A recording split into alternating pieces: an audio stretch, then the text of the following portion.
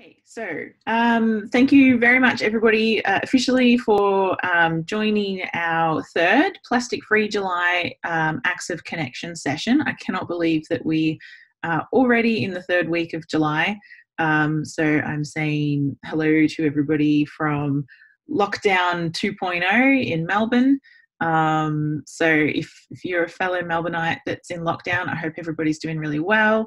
If you're not in Melbourne, if you're in other parts of Australia and New Zealand and enjoying a bit more freedom than us, I also hope you're well um, and using your freedom very wisely at the moment and learn from our mistakes uh, when it comes to the coronavirus. But I won't, won't spend any time on that. I just wanted to say thank you, everybody, for joining our session today. Um, we run these acts of connections every week as part of the Green Impact program. So obviously, you've all found it um, through being part of a Green Impact team, or hopefully, you're a part of a Green Impact team. If you're not, um, if you've just heard about the program or you've seen some communications about it, uh, I really do encourage you to think about joining a team or creating a team if you're not already a part of one. Uh, we've got uh, 13 universities participating in the Green Impact program this year across Australia and New Zealand. And it really is uh, an amazing opportunity for you to connect with your colleagues, connect with other students. Um, if you're on campus, then that's amazing.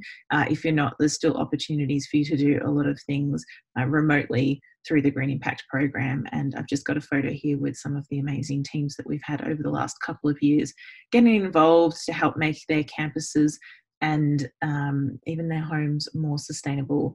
So, uh, if you're not already part of a Green Impact team, please, please, please uh, support your sustainability um, sustainability teams and get involved because the more that you involve and engage in the programs, then um, the more we can help support you to do these amazing things to make a better planet for people and for everybody. So that's my little green impact spiel right at the beginning. Thank you for letting me say that.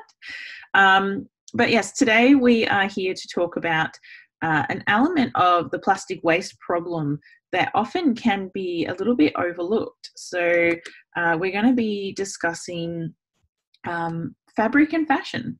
Uh, I'm just curious. Uh, let me see if I can bring the chat up. Like, is this something that often comes to people's the forefront of people's minds when they think about plastic problem or plastic pollution or you know, uh, plastic free July? Was anybody surprised to see that this came up in our in our schedule of events. If you just want to pop um, any comments in the chat, then we can sort of have a look at those if you don't want to unmute yourself.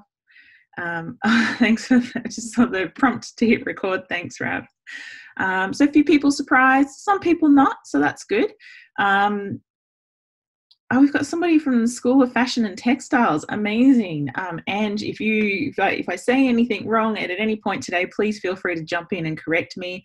Uh, I wanted to say right from the get go that um, I'm not a, an expert specifically in um, the textiles or the fashion or fabric industry. All of the information that I'm presenting to you today is from um, what I've researched and what I've put together specifically for the session. So um, I've certainly learnt a lot.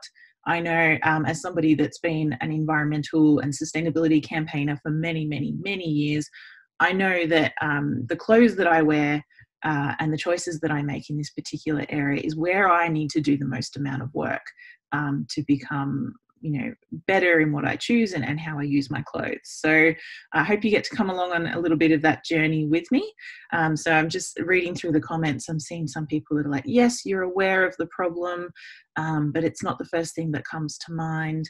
Um, aware but never know what you could do about it. So hopefully we can certainly give you some tips and guidance on, on at least how you can start to educate yourself and start to change some of your behaviors or at least make some better choices.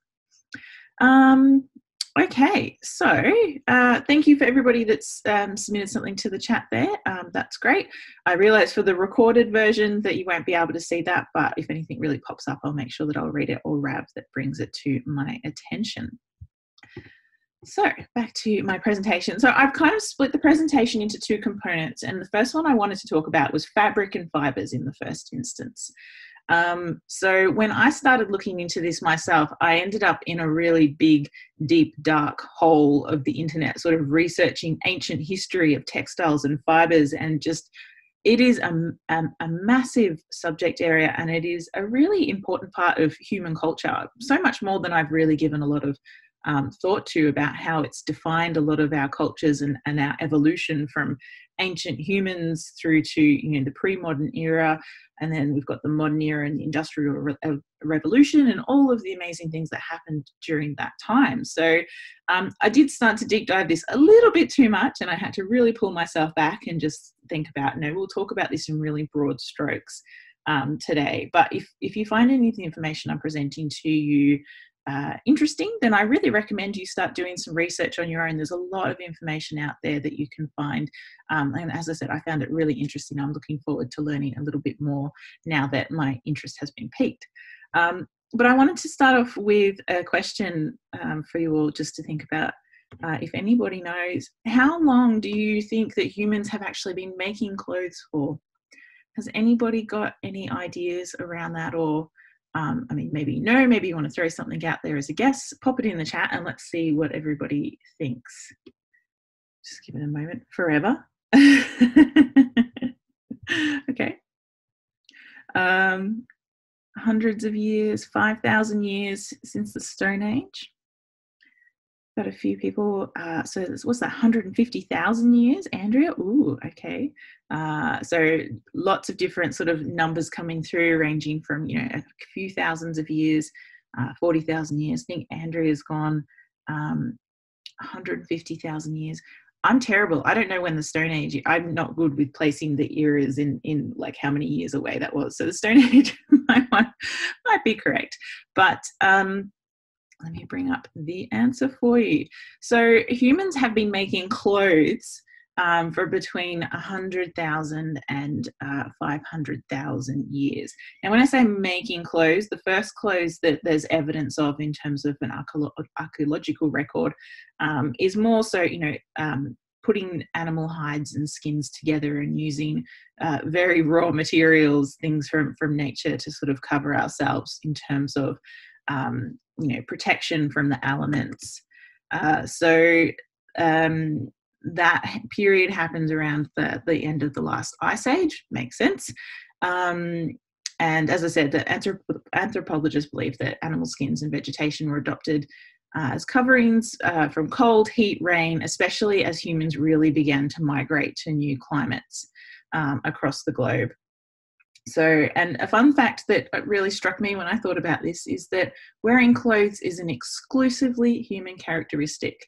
Um, and it is a real feature of most human societies. Um, so it just sort of blew my mind when I thought about that. I'm like, yes, we are the only animal on this planet that's ever thought to put clothes on.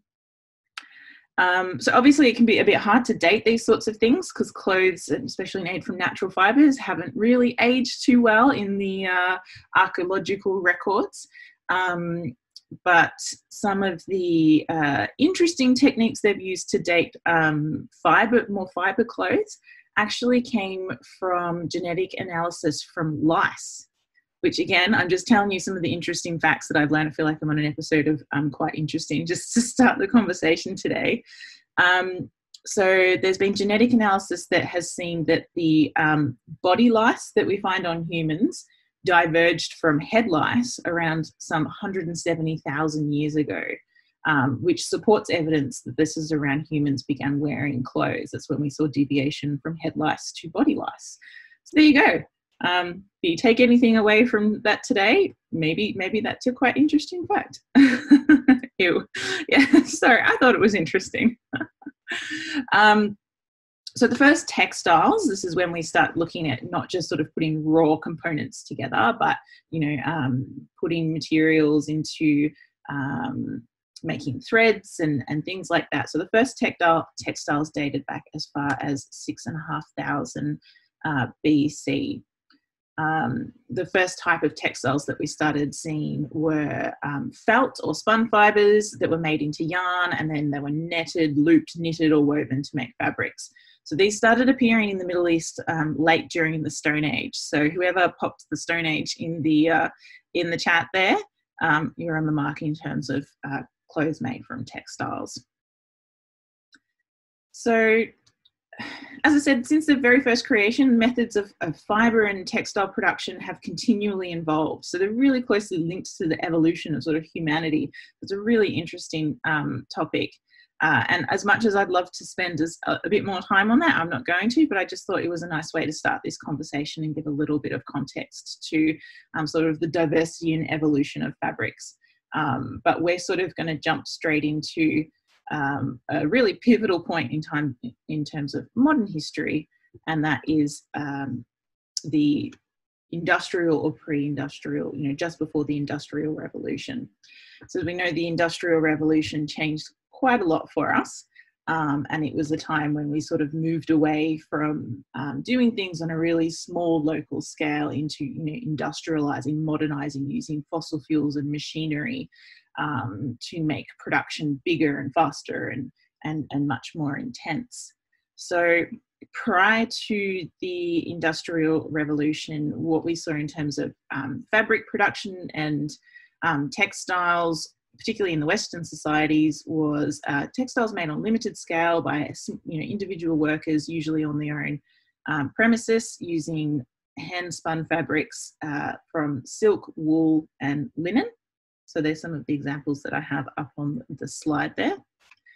Um, but then when we move into the Industrial Revolution, this is when we saw um, fabric production becoming mechanized on a really large scale, uh, machines being powered by water wheels and steam engines, and um, we really saw a shift from that saw a shift from that small scale production to mass production based on assembly line organization.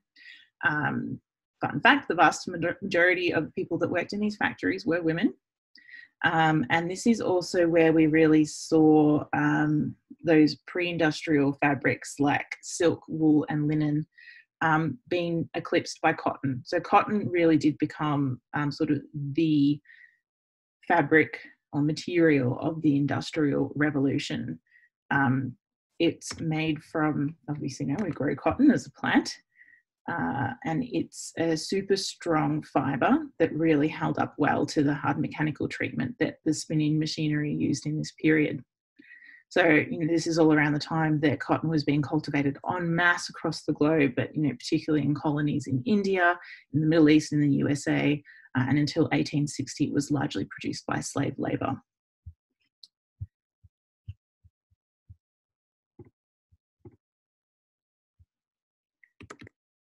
So, following the timeline along, we move from um, sort of the Industrial Revolution, where we saw this massive change, uh, into the early 20th century, where you know we continue to advance in technologies and the things that we use, and we also have the invention the invention of plastic. Move into the plastic fantastic era. Um, so, uh, so, plastics are created using petroleum and chemical chemicals, um, and once plastics were um, started being made, we realized that we could make really strong synthetic fibers from plastic. So once this um, once this came into play, we saw really big advancements in fiber spinning um, machinery uh, and control systems that allowed for much greater control over things like the diameter and shape of fibers. Um, and synthetic fibers could be engineered with you know so much uh, more precision than natural fibers. Uh, so, of course, we started to see a lot more of them on the market. Uh, between 1930 and 1970, we start seeing things like nylon, polyester, spandex, spandex and Kevlar. Um, and clothing producers pretty much took these synthetic fibers on uh, as mainstream and often then started blending them to get really optimized properties. So this fit in well with uh, our changing lifestyles at the time we went from uh, really changing the way that we that we wore and, and um, the type of clothes that we used with the lifestyles, activities, and demands of the 21st century. Um, so we started really favoring clothing producers that could make things uh, with desired properties that we wanted. You know, we wanted increased strength, elect, elect, elect I can't say that word, elasticity. That's the one I wanted. Strength, elasticity, durability, breathability, and warmth. So synthetic fibers provided this solution for us. Um, we were able to go from having a few basic natural fibers um, to synthetic fibers that allowed us to have clothes and all sorts of materials um, products that were resistant to stains, to flames, to wrinkles, to micro, microbial life. Um, the advancement in dye technologies that went along with this also meant that um, we could previously colour really difficult natural fibres or even natural and synthetic fibre blends. So the world of fashion and fabric really opened up around this time. Uh, and of course, as the extra bonus, um, synthetic fibres were extremely cheap to produce. So that's all amazing, isn't it? Fantastic. We've got synthetic fibres, they're doing all these wonderful things for us. Um, no dramas, right? Um, unfortunately, uh, due to the cost and versatility of synthetic fibres, more and more this became the fabric that our clothes were made from. So, polyester, nylon, acrylic, uh, all sorts of synthetic fibres and blends uh, are all forms of plastic. And today, uh, about 60% of all the material that makes up clothes worldwide is made from these plastic fibres. So, you know, some people don't even realize this might be a problem, you know, can't tell that your clothes are plastic. Plastic can be recycled, so it's no no big issue, right? Um, does anybody does anybody know what have, want to have a guess in the chat what you think the biggest issue with um, plastic clothing actually is? Just curious.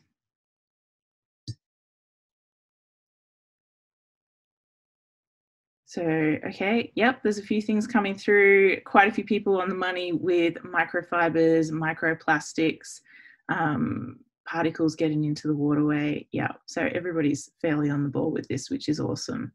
Um, so the main problem with um, oh yeah I'm, I'm, one behind on my slide 60% of the material we make in our clothes is plastic um, and just by washing our clothes, we're polluting our oceans. And this is a, a really becoming a really big issue, or we're becoming aware of how much of an issue this is.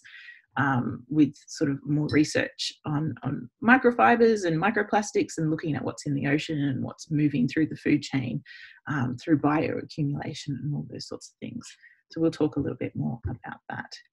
Um, so we know that plastics in our oceans is already a big problem. Um, for anybody that joined us on our first um, plastic free session, might have uh, remember this image.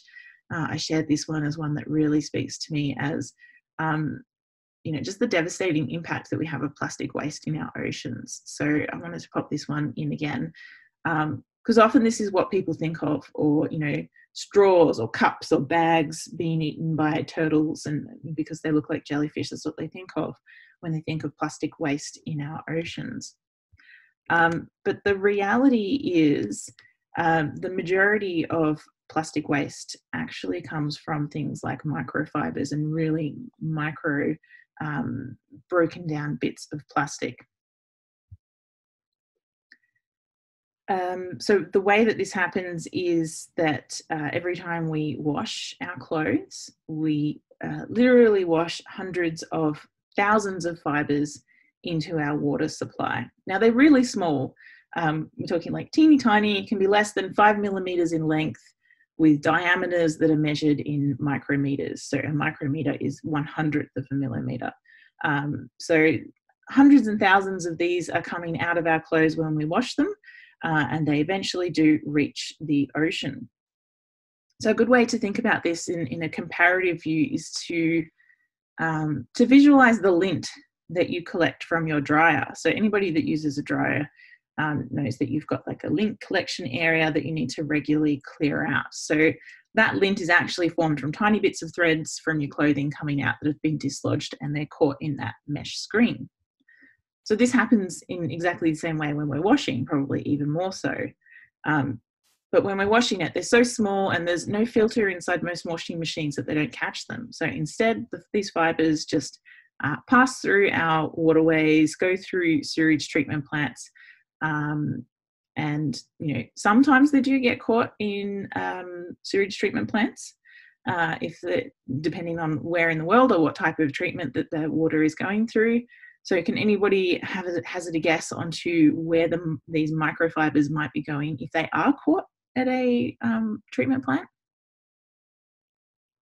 Just keep an eye on the chat, see if anybody's got any ideas. Have a quick sip of my coffee while I do.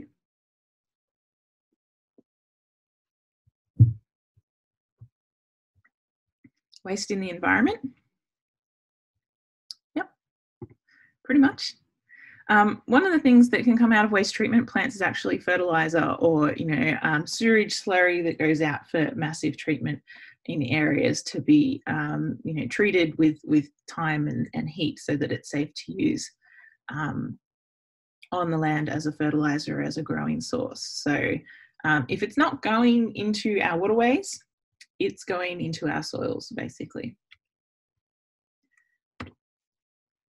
Um, for the ones that do end up in the waterways, then they become part of ocean um, microplastics, which is a pretty huge issue. Um, and it's one I think that is becoming a lot more, um, there's a lot more noise about ocean microplastics or microplastics in the ocean, so which is good. We're starting to um, become more aware and more educated on how our plastics end up in the ocean and what the impacts are that they're having.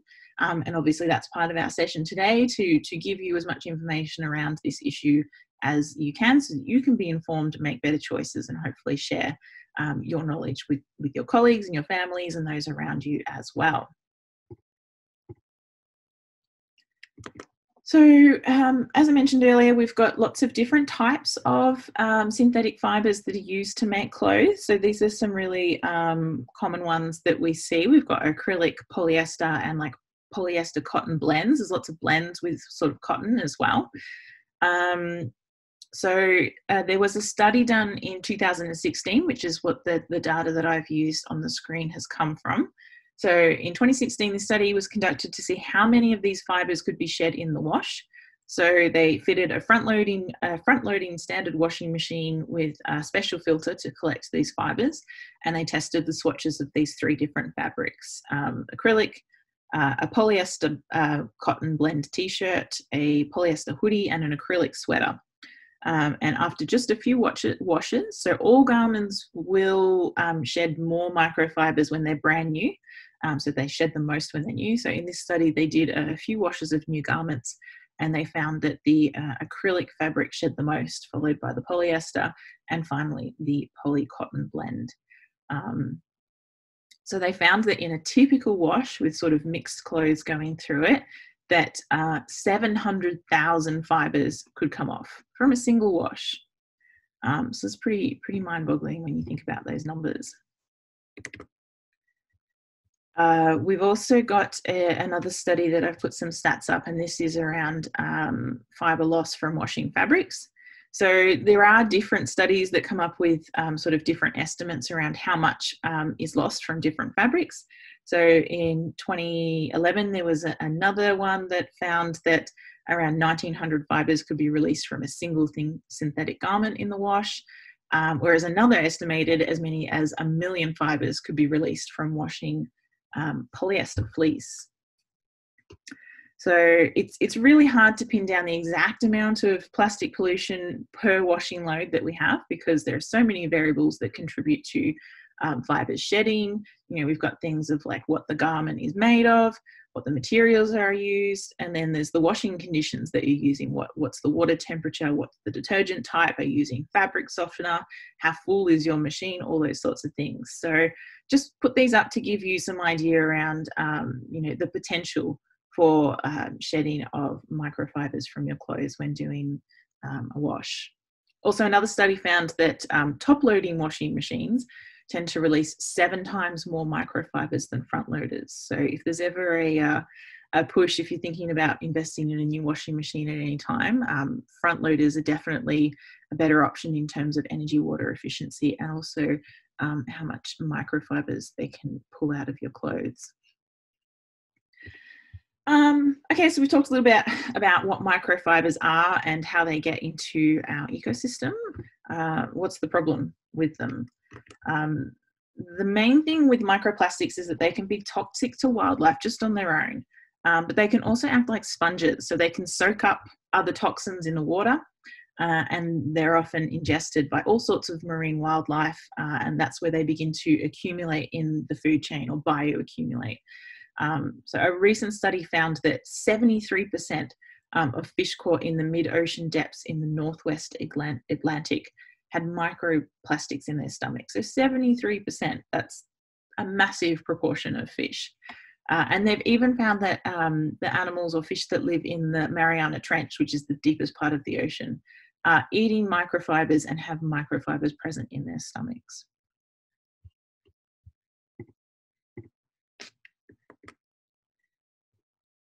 Basically, in nowadays, wherever scientists look, um, they find plastic microfibers contaminating the environment. Um, and when they find plastic contamination in an area, often it's these plastic textile fibers that are the dominant source of plastic pollution. So, you know, we see a lot of imagery, as I said earlier, of straws and cups and bags and things um, contaminating uh, the ocean, um, which is certainly a massive issue. I'm not saying it's not, but predominantly it's textile microfiber fabric, uh, textile microfiber. I'm getting myself all tongue tied now. Um, they are the, the, the most dominating source of plastic pollution, and they can be found in beaches, in mangroves, and even in Arctic ice. Uh, and pretty scarily, it's in a lot of the products that we now eat and drink.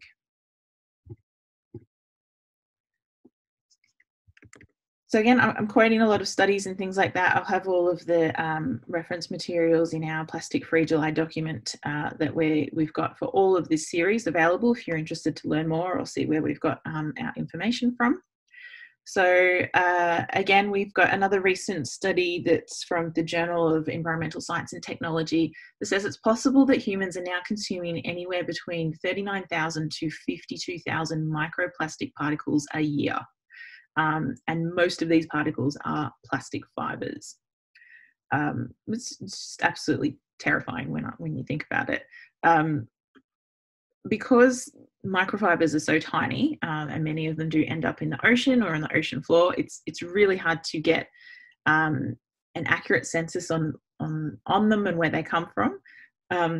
But according to the 2017 International Union for Conservation of Nature report, they estimate that about 35% of the microplastics that enter the ocean do come via synthetic fibers.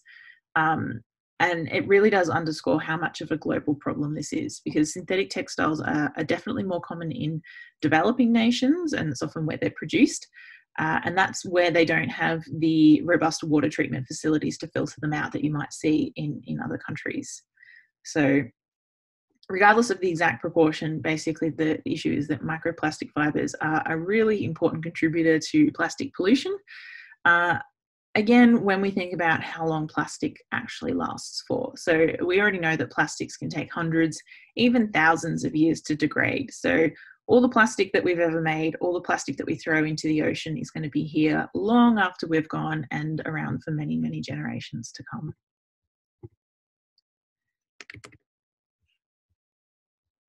What happens when you actually consume uh, microfiber plastics and what's what, what happens when it get in, gets into your body? Does it get into your bloodstream? Does it sink into your gut or does it just pass through without doing any harm? Um, this is another area that a lot of research is going into at the moment. Um, scientists still aren't quite sure about the amount of microplastics that the body can tolerate or how much damage it actually does. Uh, another study which came out of King's College in London hypothesized that over time we have this accumulative effect of ingesting plastics that could be toxic to us. Um, and again, this depends on the different types of plastics that we have. So um, some plastics have varying toxic properties. We can see that where you know BPA used to be used in all sorts of things, and then we phased that out because of the leaching. Um, you know the fact that it leached out of uh, products really easily, and it had all sorts of issues with endocrine disruption and um, really bad product. So BPA free has become something that we've seen quite a lot of. Um, but some of the plastics that we consume could be made from toxic chemicals like chlorine, um, while others could, like what we talked about earlier, be sponges. They can pick up trace elements of chemicals like lead, which is also found in the environment and used in a lot of clothes production. So the buildup of these toxins that come with it can, can impact the immune system over time. Um, researchers from John Hopkins have looked at the impact of eating seafood contaminated with microplastics, and they too have found that uh, the accumulated plastic could damage the immune system, uh, disrupt the endocrine system, and upset you know just your gut's general balance. So. At the moment, scientists are kind of scrambling to understand the dose at which microplastics start to have more noticeable health effects. Um, but like air pollution or harmful construction materials, um, those who have more exposure or pre existing conditions may be less able to tolerate plastics. Uh, and it's also important to remember that microplastics come in lots of different forms. So we've got, um, you can get fragments, pellets, beads, fibers, film, uh, and they can be all made up of a different number of uh, different chemical additives, basically. So um, they've sort of described them as uh, being as having multiple personalities. So um, the multiple personalities of microplastics might harbor, harbor toxic chemicals, while others could be, um, you know, vectors for things like bacteria and parasites. So it's it's really quite scary. Um, and something that we need to be to be thinking about how we reduce these impacts, not just for us, but you know for all of the um, animals in our ecosystems and our food chains that are consuming all of this plastic on a daily basis. So what can we do? Um, you know, now that we've sort of had all the doom and gloom about this major issue, it is important to think about what changes that we can make um, to start having a positive impact and to start changing, turning some of these things around. Um, it might be really easy just to think that the, the easiest way to, or the best way to go about this is just to start buying natural fibers um, and, you know, going back to only wool and linen and things like that. Um, but the issue with this is that um, it's a bit of a, a, luxury to think about those types of purchases and being able to purchase clothes that are only made from 100% pure and natural uh, materials. What we really need is a solution that's actually workable and accessible for everybody on the planet, not just for those that have um, the resources and, and the financial ability to be able to purchase and make the decisions, so you know make those ethical and conscious decisions um, more often not than not, we see that people with money can can do that sort of thing, and then the um, people that don't are left behind and are forced to sort of buy the, the cheap and nasty stuff that has the most and worst impact. Um, so we need to really make sure that we don't just go straight down there. Okay, everybody goes out and buys organic wool and cotton and hemp clothes, and um, and that's how we fix that solution. Because at the moment, it's really not a workable solution. Um, and a lot of the natural fibers that we produce clothes from actually have massive environmental impacts themselves. So, um, cotton has a huge environmental um, uh, impacts in terms, particularly in terms of the water consumption that it uses to make. Um, so, I'm not going to spend a lot of time on this because I think there's a bit quite it's quite a well-known thing that um, cotton uh, takes a huge amount of water and land, and there's all sorts of issues uh, associated with it. But I just wanted to point out that sort of the solution to this needs to be more systemic. Um, and it can be really simple with some of the selections that we make, um, starting with washing machines.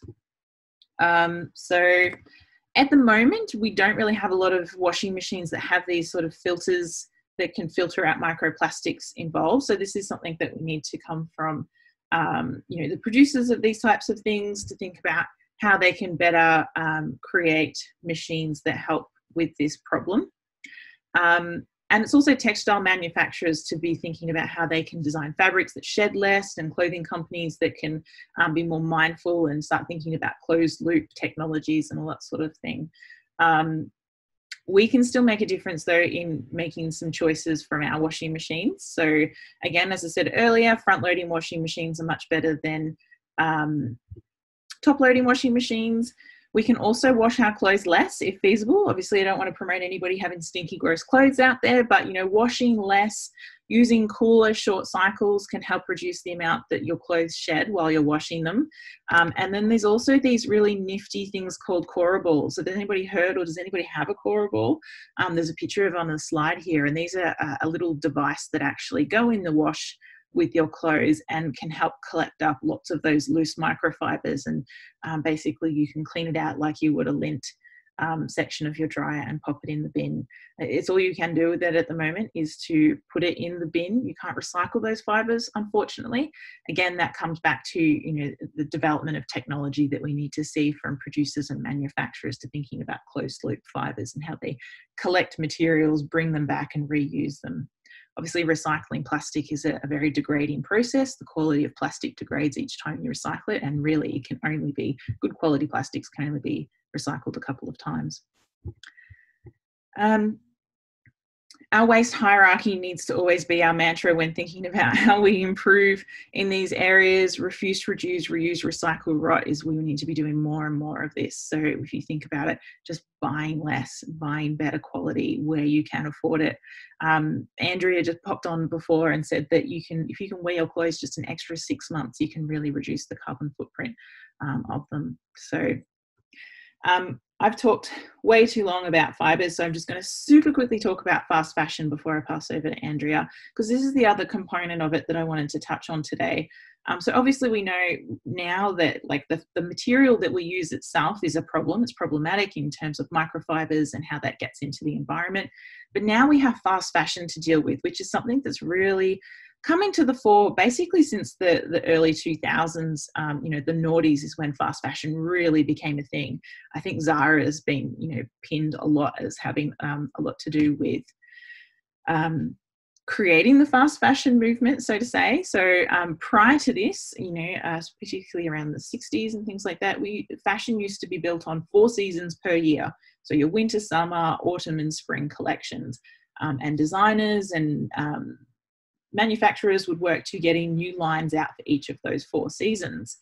Um, now what we have is around um, 52 micro seasons. So basically that's a new fashion line or a new delivery of stock that gets delivered into our just regular fashion or, you know, uh, clothes stores every single week. Um, and this has been driven, you know, a market driven change that we've seen. Um, sorry, just going to catch up to my notes because I've gone way past them.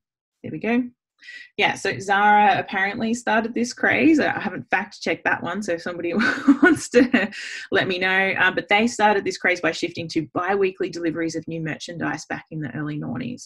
Um, so the problem with this whole fast fashion movement is that all impacts of it um, are bad.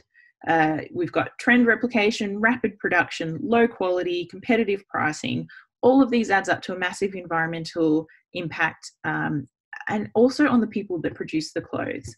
So um, we've got a massive range of human rights violations that are very closely linked to um, fast fashion or just fashion um, or the garment industry in general. It's a whole um, session on itself. We will be talking a little bit more around modern slavery and fair trade and, and fashion as we move into next month. Uh, Fair Trade Fortnight. We'll be doing that in Acts of Connection if you're interested in learning a little bit more about that as well. Um, but super quickly, I just wanted to touch on some of the biggest impacts from fast fashion. So um, we've got environmental damage. Obviously, the fashion industry continues to create massive quantities of clothing, often using toxic chemicals, really dangerous dyes, and synthetic fabrics that get into the water supplies. Uh, often, I said, in know countries that don't have really good infrastructure um, to deal with this, uh, and you know poisons the land. We also have um, waste as a massive issue. Um, seeing good old war on waste uh, popping up on the screen. Haven't seen that in a while, but um, this this contributes to a massive throwaway culture. And I apologize, I didn't get a local stat. I've got 11 million tons of garments being thrown away every year in the US alone. Um, so these clothes are full of lead, pesticides, all sorts of other chemicals, most that never break down and just spend the rest of their life releasing those uh, toxic chemicals into the air, into landfill, into the ocean, wherever they end up. So the fast fashion um, carbon footprint is massive uh, and actually accounts for 10% of the world's global carbon emissions, which is a pretty staggering figure. Um, so we definitely need to think about how we have more sustainable power production and how that can contribute to a more sustainable um, economy circular economy is a big part of this. Again that's a whole other conversation that you know if you're not familiar with circular circular economy or what that means i'd really love to do a session on that and talk about um, you know this closed loop process that we need to be moving into rather than linear you know create from natural resources use throw away for it to rot in landfill and never be used again. And again um, we have the the issue with where our clothes are produced um, and who is producing them, often that uh, means that we've got um, people being paid very little money in very poor working conditions, creating the, the clothes that we use and throw away so very quickly. So there's a, just a, a very um, quick overview of fast fashion and why it's an, an absolute issue. Again, what can we do? Um, think about buying less. Do we really need to buy, you know, that new top or that new dress or can we rewear things that we already have and, and make better quality decisions so that we don't need to be constantly updating our wardrobe and move away from this sort of fast fashion 52 trends in a year type mentality? Um, remember the waste hierarchy again it's a really good one to just has, have as your mantra um, and you can really put this to use by getting into thrifting and op shopping and getting all sorts of amazing secondhand really good quality garments if you're willing to put in a bit of time and, and effort or if you're allowed to leave to go shopping that's also a thing as well um, and support the slow fashion movement. So now what we're starting to see is, um, you know, slow fashion coming in as a term where we can really support um, and there are people out there that are producing and making ethically um, ethical, ethical clothes um, that support the people that make the garments and, and the companies that make the effort to look after the environment and people that make their clothes. So slow fashion, that's where we need to be heading and moving very far away very quickly from fast fashion. So now, now that I've given you all of that information, I'm going to hand over to Andrea, who's actually going to show us how to um, do a handy upcycle trick. Um, so Andrea, I'm just going to bring our screens back if I can. Uh, no, bear with me one second. Uh, and then once Andrea has done her um, demo, we'll um, have any questions that anybody wants to um, to ask about this. So, Andrea, can I pass over to you? And I'm just trying to change it there so that I come up on my screen. Working for everyone else, can you all see me? I can, yes. Yeah, awesome. Oh, that's good. um, if you're interested in fast fashion as well, have a look at um, hashtag PayUp I would just leave you all to Google search that issue at the moment um, related to COVID. I'm just going to put my mouse to one side. Um, yep, so for today's DIY, if you're going to try this at home, all you need is a t-shirt. Here's one I prepared earlier, beautiful black t-shirt. Um, and a pair of scissors. You don't need fancy, really expensive sewing scissors like mine, just any sharp scissors. And then a ruler, and if you don't have a ruler, just um, a book any old large book will do. Like my one that's a bit faded because it's been sitting on the bookshelf too long. And I'm just going to swivel my camera down so you can see what I'm doing because I can't quite get the right angle so you can see me and the t-shirt. So we'll just have to have a fiddle around here with my, my fancy new laptop. So can you kind of see my t-shirt there? Yes. Yes, that's working, isn't it? Um, so what we're going to do is like the top of the t-shirt where the neck is is the top of the bag and the bottom of the t-shirt where your legs come out is going to be the bottom of the bag. So you can visualize where that's going. So the first thing I'm going to do is turn the t-shirt inside out. So I've got all the seams facing me outside. So I've done that bit already. You can just see it's a little bit hard on a black t-shirt. And I'm just going to cut the sleeves off. You can do this with a singlet as well, which would make it even easier because then you wouldn't need to cut the sleeves off. And I'm just doing this right next to where the seam is. So I'm actually leaving the overlocked bit of the seam on there just to make it a little bit stronger while I'm using the bag. So let's do that and save all these little bits. Um, there's some really good tutorials on Pinterest online for turning those into like little cat toys or dog toys if you've got a dog. Or you can make hair ties out of them or all sorts. So they're handy little scraps of fabric to have around. Scrunchies are so in right now. I know, scrunchies are everywhere right now. So that might be our next tutorial is making JoJo bows out of old shirts. Oh no. so my niece is six and it's all about JoJo bows right now. Now this t-shirt's got quite a tight neck on it. It's one of these really tight round neck t-shirts. So I'm actually going to cut this up a bit as well so the hole in the top of my bag's a bit bigger. So what I'm going to do is fold it in half so that when I cut the hole, it's going to be nice and even. Um, you can see that there. So now I'm going to cut through these four layers all in one go so that I get a nice even hole in the top of the bag. So what I'm doing here is I'm just going to leave about this much width here and that's going to be the thickness of my handles. So it's sort of a width of about maybe three or four fingers depending on how fat your fingers are. And then I'm just going to cut that around kind of like a big oval. If you don't trust your ability to cut this freehand, you could get like a dinner plate and sit it down and cut around the shape of your dinner plate. So don't worry, you don't need any technical sewing equipment for this one. So when I open it out, I end up with what looks like just a great big scoop neck singlet. So if you're already starting with a scoop neck singlet, you're kind of already ahead of the game. So what we're going to do now is just work out kind of how deep we want the bag to be, because obviously this is quite a long t-shirt, so if you're carrying the bag, it would be dragging on the floor.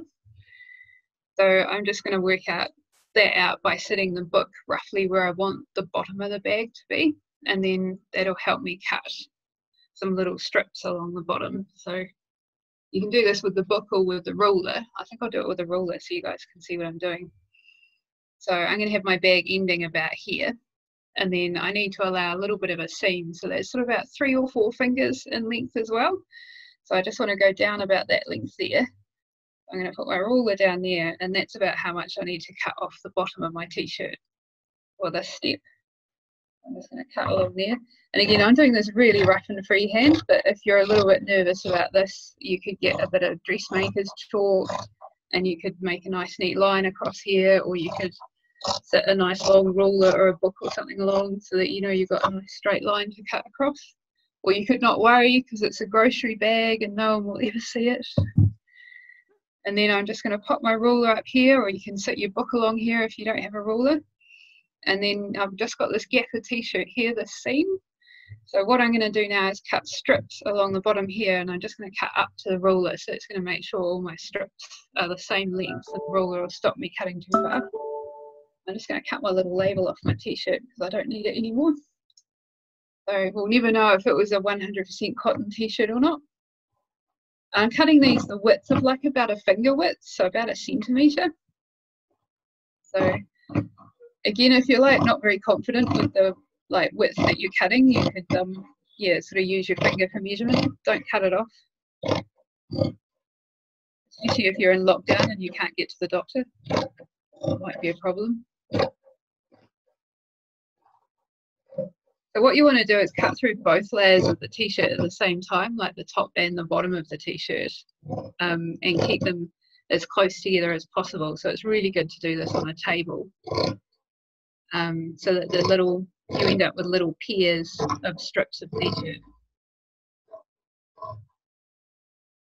Move my ruler along so I'm still roughly neat. Andrea, you said you didn't need fabric scissors, but I get the feeling that they're going to be really helpful for this. I think if you've got sharp scissors, you'd be fine.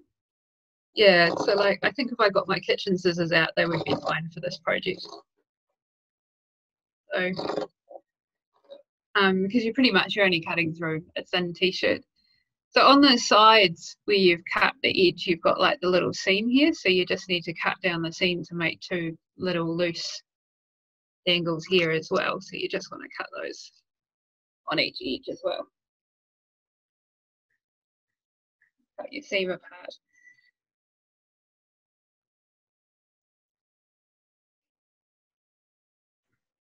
There we are. So now you've got what looks like a singlet with a whole lot of dangly fringy bits on the bottom. They're all in little pairs, which looks like it makes no sense at all so far. Um, and then what we're going to do is start with the first pair of these little fringy bits and we're just going to tie them together. This is the most technical part of the process in a knot. And then you're just going to work your way along and tie all of them in a knot. And this is just going to make up the bottom of your bag. So this is probably the point where you should hand it over to one of the kids. Good school holidays craft project lockdown crafts project. Um, and this is why it's really good to do this on a hard surface like a table because then all the pairs stay stuck together and you don't end up in a great big tangle of little bits of tassel. So But what I'm going to do is slide over to the one I prepared earlier, magically change my t-shirt to a blue one. Yes. I love the one I prepared earlier. Here's, the, here's the blue one I prepared earlier. Um, so this one's actually a singlet, which is quite handy because now I have a like a nice fancy hem on the edge of my handle. So this works quite well with singlets as well. So what I've done is gone along and knotted all the bottoms along here. So once you've gone along and knotted all of them once, what you'll notice, and that might be a little bit hard to show you here, but I'll do my best, is you'll end up with a like one little knotted bit here and one little knotted bit here, and then in the middle you have like a little wee gap. So you have a tiny little hole. So what you want to do is do a second layer of knots of one from this pair and one from this pair so that we can close up the gap. Um, so you just want to go back along the t-shirt and just do a second layer of knots. And I wouldn't worry too much about this. So like I just kind of randomly start grabbing at things and knotting them along and then just what you can do is just check at the end and if there's a hole just flip it inside out again and and knot a few more bits and pieces until it lines up. So it doesn't have to be too elaborate especially if you're just going to take it to the supermarket and throw a broccoli in it. So and then this one I've double knotted most of the way so when you finish you end up with this great big fluffy dangly mess. We're just going to flip that inside out.